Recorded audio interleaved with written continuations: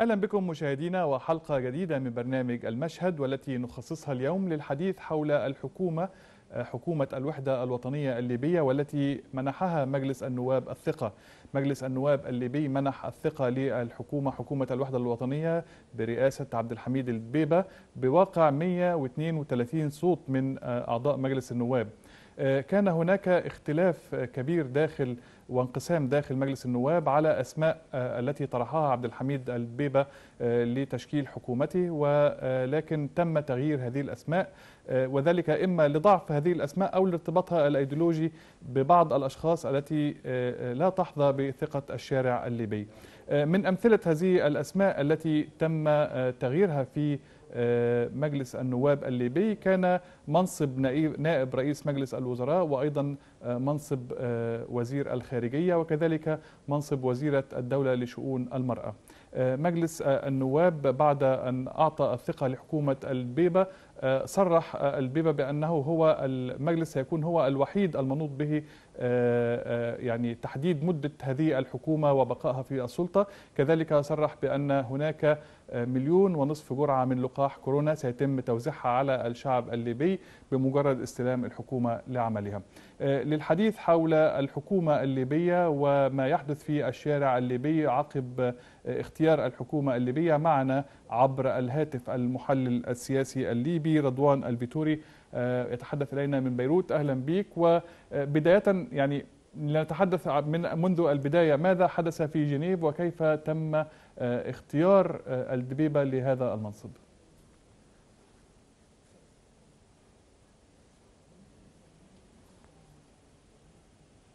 سيد رضوان الفيتوري المحلل السياسي الليبي من بيروت أعيد عليك السؤال ربما لم تسمعه.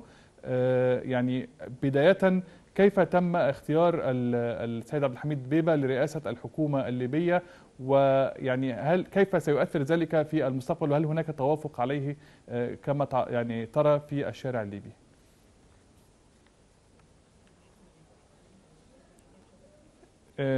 ربما هناك مشكلة في الاتصال بالسيد رضوان الفيتوري ولكن حتى يتم هذا الاتصال أذكركم بأن مجلس النواب الليبي وافق على تشكيلة الحكومة الليبية الجديدة برئاسة عبد الحميد البيبة. هذه التشكيلة والتي كان عليها انقسام كبير في البداية داخل مجلس النواب الليبي حتى تم التوافق وتغيير بعض الأسماء داخل هذه الحكومة. حتى تحظى بالثقة ثقة مجلس النواب بواقع 132 صوتا داخل المجلس. معنا السيد رضوان البيتوري المحلل السياسي الليبي من بيروت. سيد رضوان بداية يعني اختيار عبد الحميد البيبة في جنيف منذ البداية. هل تعتقد يعني كيف ترى ذلك وتأثيره في المرحلة القادمة؟ يعني طبعا بالنسبة للسيد الديبة يعني هو اولا يعتبر رجل أعمال بإمتياز لا يملك ميليشيا مسلحة شأن غيره. يعني قائمته كانت هي الأقرب رغم أن الأساس الأساس كان غير غير غير مقبول من الشعب الليبي. يعني الآن انتخب سيد الديبه لكن الجهة التي انتخبت سيد السيدة من؟ هي جهة مفروضة على الشعب الليبي. وبالرغم من من هذه من هذا آه الهيمنة والظلم الواضح للسيادة الليبية لكننا تجاوزنا آه تجاوزنا هذا الظلم في سبيل إنشاء حكومة موحدة تضم كل مؤسسات الوطن وتوحد كل آه كل الأجسام آه الموجودة في المشهد الليبي وطبعا لا يخفى على أحد أن قائمه البيضة أفضل بكثير من القائمة التي كانت تراهن عليها تركيا والكيتاري وهي قائمة بشاغه نعم. قائمة بشاغه يعني بشاغه رجل دموي رجل ميليشياوي بامتياز تاريخه حافل بالتجاوزات وبالانتهاكات. عموما بالتالي اليوم الآن آه لأول مرة منذ سنوات وسنوات آه التأم البرلمان الليبي واجتمع على على على منح الثقة لشخصية لشخصية واحدة. هذا المشهد لم نراه منذ سنوات وسنوات. وهذه الشخصية على ما يبدو لغاية الآن حسب تصريحاتها ووعودها شخصية ننتظر منها الكثير والكثير. طب ما هي أهم يعني ما الذي جاء في الاتفاق وصولا إلى حكومة الوحدة الوطنية؟ يعني ما أهم بنود الاتفاق الذي تم في جنيف؟ بنود بنود الاتفاق أستاذ الفاضل أن ينص أن هناك سلطة مجلس رئاسي ونائبين وأيضا مجلس مجلس وزاري ونائبين يعني كانت كانت هذه الشروط متوازنة. وأيضا يعني السيد الفريد قدم نفسه ضمن لائحة معتدله راعت في راعت فيها كل المناطق الليبية. لذلك يعني يعني لا اقصي على عدد كانت مفاجأة للجميع لكن أعتقد أنها كانت مدروسة بعناية ومن ثم لاقت هذا القبول. عموما استاذي نحن الآن أمام رئيس وزراء لحكومة ليبية موحدة. نعم. نحن الآن أمام أمام حكومة ليبية تستطيع أن تطول وتجول بكل المناطق الليبية. نحن الآن أمام وزراء لا يخافون من الذهاب إلى طرابلس أو المجيء إلى بنغازي. هذا بحد ذاته يا أستاذي يعتبر إشارة في غاية الإيجابية بالنسبة للمواطن رجل الشارع البسيط. نعم السيد عبد الحميد دبيبة كان قد رشح عدد من الوزراء يعني للحصول على الثقة من داخل مجلس النواب ولكن كان هناك اختلاف كبير من جانب أعضاء مجلس النواب حول هذه الأسماء. فيعني هل تعطينا فكرة لماذا كان هذا الاختلاف وكان الإصرار على تغيير هذه الأسماء؟ لانها لأنها أستاذي أسماء جدليه أسماء متفقه للشارع الليبي بحكم تاريخها. فلذلك الرجل ارتأى أنه لا يريد أن أن أن يواجه الرأي العام الليبي. قد يكون اقتراحات من مكتبه بهذه الأسماء لكنه الرجل أبدى أبدى مرونة أبدى أنه سوف يزيل أي عوائق لا يريد أسماء جدلية في وزاراته لا يريد أسماء متورطة ولها سوابق جنائية أو سوابق اختلافات وسرقة. ورأينا كيف حدث تعديل بهذه الوزارات ومن ثم منعت الثقة. حقيقة كانت كانت مرونة من من السيد البيبه وأيضا كان أداء مميز من البرلمان. فلذلك كان هذا التوافق اليوم الذي هو بمثابه فرحة لكل الليبيين حقيقة. نعم. شوفوا أستاذي يعني الآن الذي يريد يريد حكومة مثالية لا يحصل عليها. لأننا نحن في ظرف استثنائي جدا والبلاد يعني البلاد خارجة من حرب للتو يعني هناك عدة خطوط متداخلة وأهمها الخطوط الدولية. لذلك أن أن نتحصل على حكومة بهذا التوازن فهو مقبول جدا لدى الناس لكن يعني عند تغيير هذه الأسماء داخل مجلس النواب قال رئيس الحكومة إنه لا لم لم يقم باختيار سوى اسم واحد فقط من هذه الأسماء. هل تعتقد أنه سيستطيع التعاون مع الأسماء الأخرى التي تم ترشيحها وتم التوافق عليها في النهاية؟ بالتأكيد بالتأكيد يعني الرجل يسعى يسعى لكي ينال الثقة يسعى لكي يرضي الجميع. ومن ثم ومن ثم كم رأينا من حكومات عندما منحت لها الثقة بعد شهر وشهرين تصدر مثلا تعديلات وزارية بما يتلائم مع طبيعة المرحلة. لذلك أستاذي العبرة بالعنوان. طالما تعهد بتعهد كتابي بإصلاحات رئيسية في البلاد وأيضا التعهد الأكبر بإجراء الانتخابات في في شهر 12 في 24 ديسمبر. هذا التعهد يكفي أن أن الرجل يتحصل على دعم ويتحصل على على ميزانية. الناس حقيقة كلت وملت من هذا الوضع المظهر اللا سلم ولا حرب اللا مدينة اللا اللا دولة وضع سرقات ومافيات متحكمة في مقدرات ومؤسسات البلاد الآن أعتقد أننا بدأنا بوضع العربه فوق السكه الصحيحه بإذن الله. نعم السيد رضوان الفيتوري المحلل السياسي الليبي من بيروت أشكرك شكرا جزيلا لك. ونتحول مشاهدينا إلى السيد خالد العسوي الكاتب الصحفي بوكالة أنباء الشرق الأوسط والمتخصص في الشؤون العربية. سيد خالد أرحب بك. وأبدأ معك من مكان ما انتهيت مع السيد رضوان الفيتوري وهو عند تشكيل الحكومة. هناك عدد من الأسماء التي يعني تم تغييرها داخل مجلس النواب. ولم يقم باختيارها السيد عبد الحميد بيبة بنفسه هل تعتقد أن ذلك سيؤثر على أداء الحكومة الليبية في المرحلة القادمة؟ لا طبعا بعد التحيه على حضرتك وعلى كل مشاهدينا الكرام أعتقد هي لم تأتي بهذا الشكل الذي يعني وصف به بأنها أمليت على رئيس الوزراء الليبي الجديد ولكنها كانت أيضا في الأمس القريب كانت هناك جلسات مغلقة ما بين الأعضاء البرلمان الليبي وما بين الجهات الأخرى المسؤولة عن تشكيل الحكومة اللي هي السلطة التنفيذية الجديدة أو المجلس الاستقلالي الجديد أو المجلس التنفيذي الجديد في ليبيا.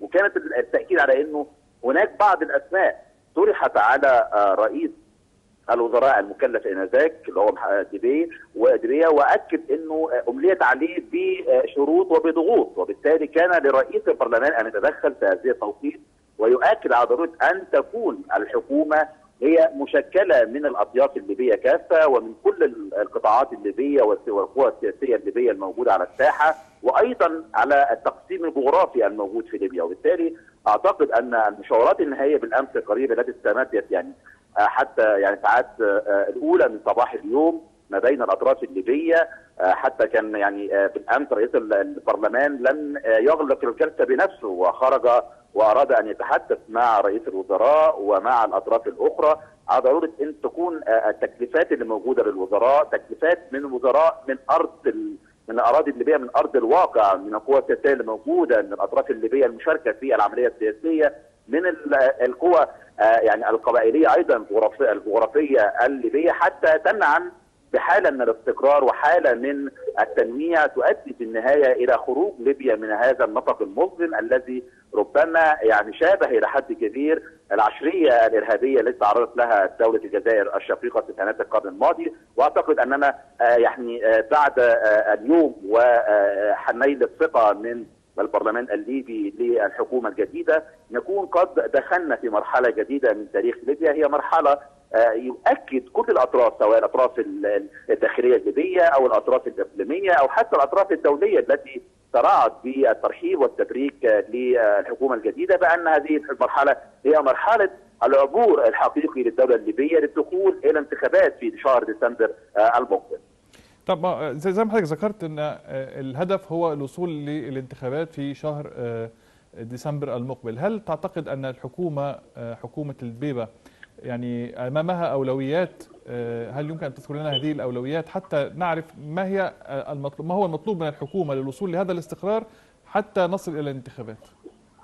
طبعا أنا يعني يعني برضو أستطيع أن أقول لك أنها ليست أولويات أكثر ما هي تحديات كبيرة أمام الحكومة الليبية الجديدة وأزمات أيضا كبيرة جدا. نحن نتكلم عن دولة ربما تعاني من حالة يعني فساد كبير. نتكلم على دولة تعاني من جماعات وانظمات إرهابية موجودة على أرض الواقع يعني بمساعدة بعض الأطراف الليبية. بنتكلم عن دولة عاشت فترة عصيبة في تاريخها بعد عام 2011 كل هذه التحديات ربما تكون يعني تواجه الحكومة الجديدة لكن أنا على ثقة ونحن أيضا كل الأطراف الإقليمية والدولية يعني تسعى إلى ذلك بأن تكون هذه الحكومة في مرمى كل هذه التحديات وتستطيع أن تقتحمها وتحقق هدفها المنشود وهو مواجهه هذه التحديات والقضاء عليها. وأعتقد أن أكبر تحدي ربما أيضا رئيس الوزراء الليبي بالأمس واليوم وكل ساعة وكل دقيقة بيتحدث عنها هو ضرورة خروج الجماعات الإرهابية والجماعات المتطرفة من الداخل الليبي والاحتماء بالوطنيه الليبية وعدم الانخراط وراء جماعات أو تنظيمات في خارج الحدود الليبية أو حتى دول تحاول تعزعه أمن واستقرار ليبيا ولكنه الرجل منفتح كل الانفتاح على كل من يساعده ويسانده في القضاء على هذه الجماعات الإرهابية والإرهاب يعني ترشح في نعم. الساحة الليبية. أستاذ خالد ما هي محددات العلاقة بين الحكومة الليبية الجديدة حكومة الوحدة الوطنية والمجلس الرئاسي برئاسة فايز السراج؟ لا يعني أنا أعتقد أن العقد يعني يعني المجلس الرئاسي انتهى بالفعل منذ ساعات قليلة بعد نيل الثقة من من البرلمان الحكومة الجديدة. وأعتقد أن السيد سراج إذا كان يعني يريد خيرا للدولة الليبية وللشعب الليبي كما كان يقول حينما كان رئيسا للحكومة وللمجلس أن يسلم السلطة فورا إلى رئيس الوزراء الجديد الذي يعني أخذ ثقة البرلمان وهو يمثل الشعب الليبي بكل اطيافه وأيضا أخذ ثقة المجتمع الدولي بعد انتخابه من الحوار الليبي في جنيف وأخذ أيضا الشرعية والاحترام والتقدير الإقليمي حينما قام بزياره إلى القاهرة وعدد من الدول الأخرى وأيضا هناك اجتماع أوروبي على أن هذا هو رئيس الوزراء الجديد لليبيا وهذه هي ليبيا الجديدة وبالتالي أعتقد أن العلاقه لابد أن تكون في إطار نقل الثقة واستخدام الملفات الناجعة والناجحة لإنهاء الفترة التي مرت بها ليبيا وأن يكون السيد السراج وكل من كان في جواره أو كل الحكومات السابقة بجوار رئيس الوزراء الجديد واعطائه مفاتيح الحلول للأزمات المطروحة وأيضا مساعدته على العبور بالمشهد الليبي إلى مرحلة الدفء السياسي والدخول في مرحلة الاستقرار النسبي السياسي والأمني للدخول في عملية انتخابية تؤدي في النهاية إلى حكومة ورئيس وبرلمان ودولة ليبية جديدة بكل الأشكال من خلال الصندوق ومن خلال الانتخابات الشفافة والنزيهة بعد الاستقرار الأمني والسياسي الذي أعتقد أن رئيس الوزراء الجديد قادر بشكل أو بآخر أن يحققه ويميزه في المرحلة المقبلة وقادر أيضا على أن يهيئ الأراضي الليبية سواء السياسية أو الأمنية أو كل الجغرافيا الليبية إلى إجراء انتخابات نزيهة تعبر عن المواطن الليبي الذي ربما عانى خلال العشر سنوات الماضية حالة من عدم الاستقرار وحالة من التشرد وحالة من عدم الأمان وبات وأصبح وربما يكون واجبا الآن أن يكون هذا المواطن ينعم بالأمن والاستقرار الذي غاب عنه منذ أكثر من عشر سنوات. طيب من ضمن التحديات التي ستواجه الحكومة الليبية أيضا موضوع الدستور. قال السيد عبد الحميد الدبيبه رئيس الحكومة الجديد إن يعني موضوع لجنة الدستور مشكلة منذ ست أو سبع سنوات ولم تستطع حتى الآن إيجاد أي مخرج. فما هو يعني الحل من وجهة نظرك؟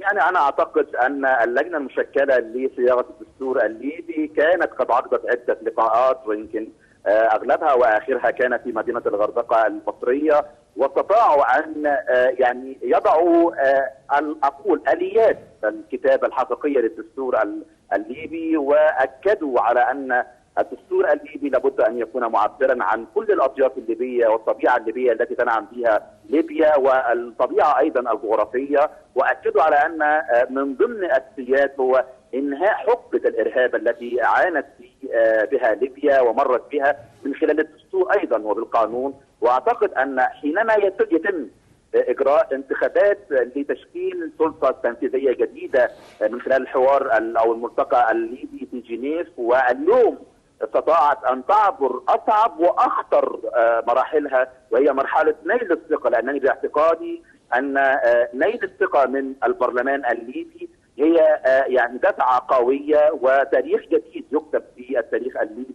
ومن هنا يستطيع أي رئيس وزراء حينما يكون يؤمن بحل قضية دولته أن يحقق النجاحات ويستطيع أن يكتب دستورا حقيقيا للدولة الليبية بالمساعده مع الأطراف الليبية والأطياف الليبية وخبراء القانون سواء في ليبيا أو حتى من دول الاقليمي آه، ليكون ال- ال- الدستور معبرا حقيقيا عن إرادة الشعب الليبي التي رفضت وما زالت ترفض وتستمر في رفضها لأنها طبيعة حيوية آه، نعم. عربية آه، لها هويتها كل أشكال الإرهاب والتطرف التي كانت تحاكى نعم. بالدولة الليبية خلال المرحلة المقبلة آه، السابقه أيضا أستاذ خالد العيسوي الكاتب الصحفي في وكالة أنباء الشرق الأوسط والمتخصص في الشؤون العربية أشكرك شكرا جزيلا لك ونتحول مشاهدينا إلى هنا داخل الاستوديو وضيفنا الأستاذ خالد محمود المتخصص في الشأن الليبي والكاتب والمحلل السياسي أهلا بك وسهلا. خالد وبداية يعني خلينا نتكلم على الحكومة الليبية بعد أن حصلت على الثقة ما هي أهم التحديات التي تواجهها الآن؟ آه، متشكر لحضرتك وسامحني على التأخير بعتقد ولا يهمك. إنه ال- التحدي الرئيسي هو إنها تفي بالتزامها الرئيسي آه، المتمثل في آه، استحقاق الانتخابي في 24 ديسمبر وهتلاحظ حضرتك إنه بمجرد انتهاء عملية التصويت رئيس البرلمان آه، المستشار عقيله صالح نبه على آه، هذه المسألة وعلى أساس انه هذه حكومة مؤقتة آه، لفترة انتقالية محدودة. نعم. الهدف الأساسي منها هو تسيير البلاد إلى مرحلة الانتخابات. نعم. مفيش شك إنه عنده ملفات صعبة وبالجملة. بعتقد إنه عنده فرصة كبيرة للنجاح لكن شريطة إنه آه، يتخلى عن عقلية رجل الأعمال والمقاول آه، هو طبعا حضرتك عارف إنه ما عندوش خلفية سياسية ليست لديه تجربة سياسية ماثلة للعيان. آه، كان عنده تيار آه، سياسي محدود إلى حد ما ولم يظهر اسمه على الساحة إلا مع مشاورات آه، جنيف. تم, التوافق عليه في النهاية. نعم نعم. نعم. لكن في نهاية الأمر أنت لازم تقف قدام مسألة مهمة وهي إنه أنت قدام رئيس حكومة ليس منتخبا من الشعب ولم يختاره الشعب. اللي اختاره 75 شخص اختارتهم بعثة الأمم المتحدة عشان تبقى الأمور في نصابها. الهدف الهدف الأساسي من المسألة إنه آه، آه، يعني يتم وقف آه، آه، القتال بشكل عام. الهدف هو الخروج من الأزمة. وبتصور بتصور يعني. طب لكن لكن هو في مجلس النواب تم تغيير أسماء الوزراء الذين آه، آه، رشحهم آه، السيد عبد الحميد دبيبة ببعض الأسماء أو أغلب الوزراء تم تغييرهم بالحقيقة علشان آه، يحصل توافق عليهم من داخل مجلس النواب. هل تعتقد إنه سيستطيع التعامل مع هؤلاء الوزراء من أجل الوصول إلى الهدف الرئيسي الذي ذكرته حضرتك وهو آه، الانتخابات الرئاسية؟ أنا عندي شكوك كبيرة وارجو إني ما اكونش متشائم أكثر من اللازم لكن بداية كده الحكومة أول ما جت عملت شعار آه، لنفسها شعار رسمي يعني اكتشف لاحقا إنه هذا شعار مسروق وسحبته. أنت قدام حكومة في أساسيات وبديهيات العمل عندها مشكلة دي مشكلة منهجية. ثانيا هو اعترف بنفسه بأنه لم يختار سوى وزير واحد. نعم. من الحكومة. إذا بتتكلم على 35 وزير فالراجل آه عنده 34 وزير آه استلم السيرة الذاتية بتاعتهم حتى في هو قال ده بلسانه من آه بيته يعني يعني جزء كبير من السي- السيرة تصريحاته، الذاتية نعم. راحت الترشحات راحت له عن طريق البيت. انت برضو انت عندك مشكلة منهجية في طريقة عمل الحكومة. الفكرة هنا إيه؟ انه انت قدام رجل أعمال هيدير الأزمة لكن هو عنده تحديات سياسية وأمنية بتتطلب عقلية سياسية آه، نشطة. بتمنى انه يكون عنده هذا الأفق وإنه آه، يعني يكون عند حسن ظن الشعب الليبي بيه لأنه الناس تعبت العشر سنين اللي فاتت آه، مشاكل ودمار وبظن إنه يعني كرئيس حكومة هو تقريبا رئيس الوزراء السابع والعشرين في تاريخ ليبيا منذ استقلالها عام 1951 نعم. وهو أيضا آه، آه، يعني سابع رئيس وزراء آه، في ليبيا بعد انهيار نظام العقيد معمر القذافي السؤال المهم هو إنه بعد إن شاء الله ما يؤدي اليمين الدستورية للحكومة في مدينة بنغازي شرق البلاد أين ستمارس الحكومة السلطة؟ هل في العاصمة طرابلس حيث لا زالت الميليشيات المسلحة هي التي تهيمن على المشهد؟ وهو نفسه اعترف إن في عدم تعاون من جانب حكومة السراج كانت معاه على اختيار ال- الأسماء اللي طرحها في الحكومة. طبعا ما هو آه، آه، انت هنا قدام معسكرين متنافسين كانوا